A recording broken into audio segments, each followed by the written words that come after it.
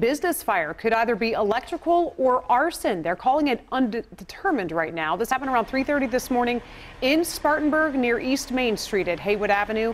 A hair salon was in that building but was in the process of moving out. Firefighters say that fire was in the basement on the second floor when they got there. The fire marshal says no one was inside at the time, but there may have been someone staying in the building.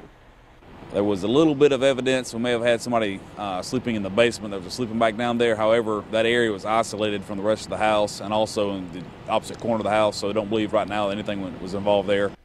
East Main Street was shut down for a while during that fire this morning, but it is back open.